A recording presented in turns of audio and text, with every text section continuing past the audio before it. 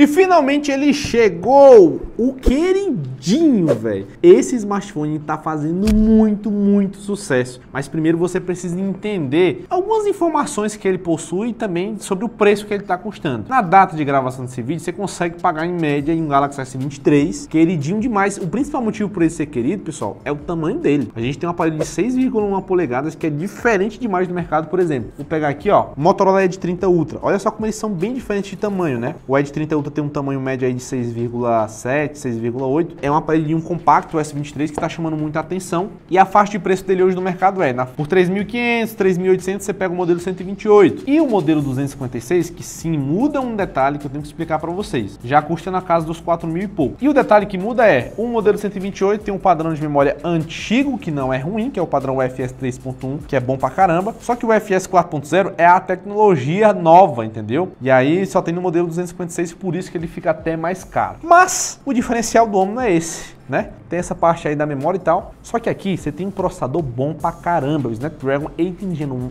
Gen 2, né? O mais top do momento. Você tem uma câmera espetacular, velho. O que a Samsung fez na hora de estabilizar um vídeo nesse aparelho é coisa do outro mundo. É tecnologia alienígena, simplesmente. E claro, né? Se a Samsung fabrica a maioria das telas dos smartphones do mundo, aqui você vai ter a melhor tela dentro dos celulares aí, praticamente, nessa faixa de preço. Mas ó, esse vídeo, cara, ele tá cheio de informação. Que se você quiser comprar um desse, desse, eu vou abrir a tua mente. Não só para ele, mas para outros aparelhos também por faixa de preço. Já vale um like e vamos falar desse bichinho aqui que é um sucesso, o Galaxy S23. Simbora!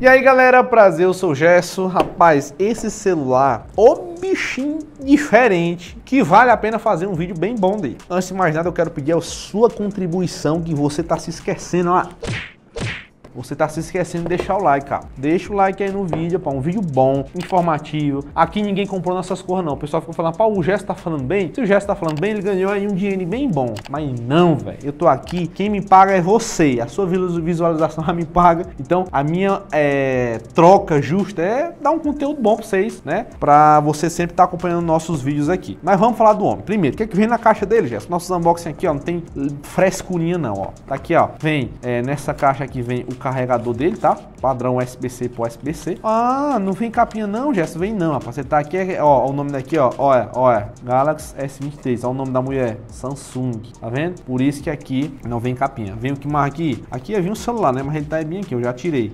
E aí aqui vem um carregador do homem. Ah, um detalhe, tá? Esse carregador aqui, pessoal, é o de 25 watts. É suporte a 45 watts somente no modelo Ultra, tá? E detalhe, já vem na caixa. Obrigado aí ao rapaz que eu esqueci o nome, que denunciou a Tô brincando. Enfim, a Samsung, pra você que não sabe, lá fora, a caixinha ainda é aquela. A, a pequenininha que nem a dos iPhone. Aqui no Brasil só recebemos o carregador porque um brasileiro maravilhoso, né, denunciou ali pro Procon e obrigou a Samsung, o Procon obrigou a Samsung a dar os carregadores. Mas enfim, papo outro vídeo. Bora falar do homem. Eu já mexi nele, já larguei ele um monte de coisa, já mexi na câmera. Agora a câmera do homem, como eu falei pra vocês, pessoal. Acho que um, do, um grande diferencial dele é essa. Olha isso aqui, ó. Ó, tá vendo? Eu tô mexendo minha mão. Cara, a estabilização de imagem dele é um espetáculo, um espetáculo coisa de outro mundo, tá? Mas vamos começar por partes. A começar pela tela do bichinho aqui. Uma tela dessa tem 1700 nits. Tem um outro aparelho páreo a ele, que é o Motorola Edge 30 Ultra, que tem uma tela tão boa quanto, mas não é tão boa a nível de falar, não. É a mesma coisa? Não é. Essa tela é melhor. É somente uma tela no padrão Full HD, com muita qualidade e 120 Hz de atualização, tá, pessoal? Tem tecnologia Dolby Vision, Dolby Atmos, essa parada toda. E outra coisa, pessoal, ele tem 120 Hz de atualização e um diferencial frente ao seu iPhone 13, o seu iPhone 14, que você vai ter que pagar mais caro para o modelo Pro para ter isso aqui. Aqui não, no modelinho mais barato da Samsung você já tem a tecnologia LTPO, que é uma tecnologia na qual traz a variação da tela de forma automática, já que ela vai entender se tem necessidade ou não de te entregar mais hertz na tela, né? Então ele altera de 60 para 120 automaticamente. E tipo assim, a gente vê as telas da Samsung e fala de qualidade, tal, tal, tal, mas é tipo, não é só a qualidade, é como ela é feita. Aqui tem tecnologia Gorilla Glass Virtus 2, tá? de última geração, então ela é bem resistente. Essa traseira dele é em vidro também e também tem proteção Gorilla Glass. Então, cara, tudo dele aqui é muito bem ajustado para facilitar as coisas. Não tem memória expansível, tá? Você só colocou aqui dois chips e acabou o que era doce. E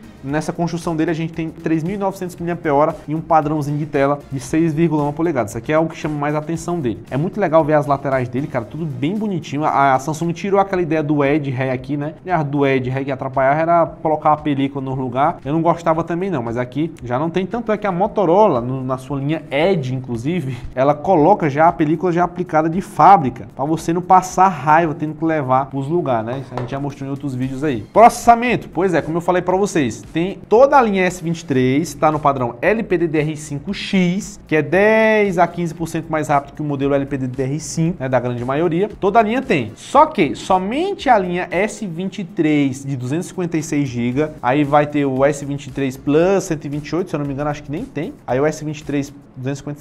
Só o. Vamos lá. Só o S23 128 vai ter a opção do UFS 3.1. E aí o modelo 256 já tem o UFS 4.0, que é o padrão de memória mais recente, vamos assim dizer, né, que te entrega aí, se eu não me engano, o dobro de velocidade para ler um arquivo. No geral, ó, você vai abrir a galeria aqui, ó, você vai tirar uma foto, basicamente, você largar uma foto, puf, tá aqui a foto, puf, tá aqui a foto na frontal. Na hora que você for na galeria, a peste da foto vai estar tá lá, ó, sem pé na cabeça. Tirou aqui, ó, é surreal isso aqui, cara, isso aqui é impossível um iPhone fazer, ó, ó, tá vendo? Detalhe, vou vou, vou tirar uma foto específica, ó, da minha mão. Tirei a foto, já acessei. Em fração de um segundo, velho. Vou pegar o iPhone aqui só pra vocês verem. Cadê o fidel do iPhone? Se escondeu, ah, meu amigo, se escondeu. Pera aí, deixa eu pegar ele que ele vai ter que aparecer no vídeo aqui. Ó, tá aqui o pé do iPhone, ó. Vocês virem aqui, ó. Sem corte nenhum no vídeo. Só pra vocês verem como essa ideia do FS 4.0, não só do FS 4.0, se eu pegasse um aparelho só com é, no padrão 3.1, já seria mais rápido também, ó. Foto, foto, foto, foto, foto, até que ele acompanha, ó. ó, viu?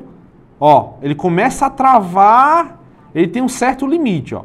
Um, dois, três, quatro, ó. Na quarta, quinta foto ele trava. Foto específica, eu vou abrir diretamente, ó. 3, 2, 1. Viu? Ó. Ó.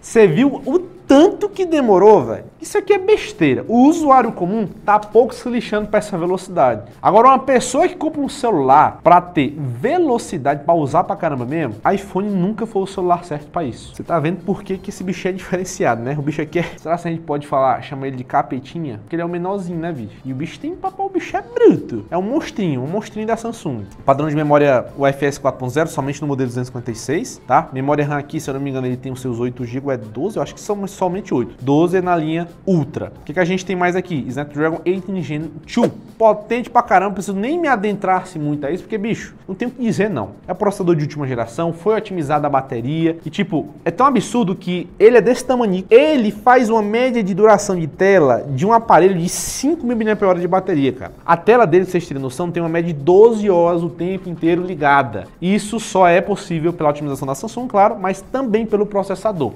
Snapdragon 8 Gen 2, tá? Potente, com 12 horas de duração. Se eu não me engano, tem o A14, que é o mais barato do mercado hoje com essa média de tela, talvez o A54. Ou seja, a gente tá falando de um topo de linha pequenino que tem uma puta bateria, cara, puta bateria. Agora vamos falar da câmera do homem, né? Primeiro, temos um sensor principal de 50, 50 megapixels, temos uma câmera wide de 12.2 e uma câmera telefoto de 10 e a frontal de apenas 12 megapixels. É isso mesmo, pessoal? É isso mesmo, só é 12 megapixels. E um detalhe, tem um foco na câmera frontal nessa linha. É muito legal ver essa preocupação da Samsung, que a Apple só coloca nos modelos Pro e Pro Max certas funções. Eu nem lembro se nesses modelos 14 saíram foco na frontal né, no 14 mais no modelo 14 mesmo, sem ser o modelo Pro, né? Mas é legal que a Samsung tipo não te priva quase de nada de tirar uma coisa do modelo mais barato pro mais caro. O mais caro vai ter a fia do ego da canetinha, o mais caro vai ter o carregamento mais rápido, mas tipo funções normais, tudo dele aqui vai ter,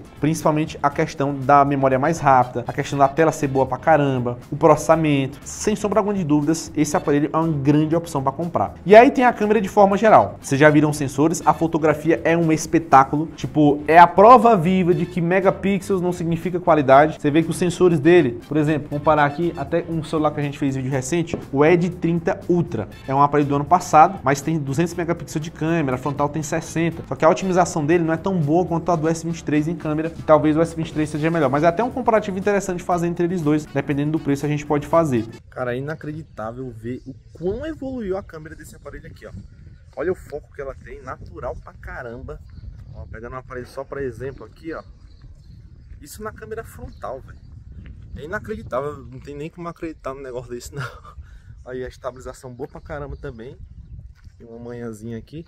Detalhe, ó, no meio da gravação eu troco de câmera e a traseira é melhor ainda. Tá vendo aí a qualidade? Posso também trocar, ó, pra câmera wide. Tá aqui na câmera wide agora. Sou esse cara de moto. E outro detalhe, olha lá. Pegar aqui, ó. Sensor telefoto dele também é um espetáculo. Olha isso aqui, ó. Posso dar um zoom em perfeita qualidade. E essa câmera dele aqui, com certeza é melhor do que a do seu 14 aí, tá ok? Lembrando que esse aqui é o vídeo modo retrato dele, tá? Que grava em 4K. Antes não dava pra fazer isso e a qualidade é muito boa. Até que ele se vira bem, ó. Porque a câmera frontal agora, como tem foco, facilita muito aí no trabalho dele entender o que está acontecendo. Olha isso aí, velho. Muito boa. Isso na frontal, né? Ó, isso aqui na câmera traseira também fazendo o mesmo efeito. O mais doido é que ele permite fazer até na câmera wide. E diferente do iPhone, aqui, a partir do momento que eu estou gravando, ele já renderiza o vídeo. Você não precisa fazer aquele processo de, ah, gravou, depois vamos renderizar aqui na hora de passar para o computador, entendeu? Aqui não, em tempo real ele já renderiza a imagem e o vídeo fica pronto para ser passado para qualquer lugar aí. Top, né? Ó, na verdade eu me enganei, ó. O, o, o outro modo retrato só funciona na câmera telefoto, ó. Deve ser para fazer tipo um vídeo buquê, ó. Porque se eu fizer em mim, vocês só vão ver minha boca aqui.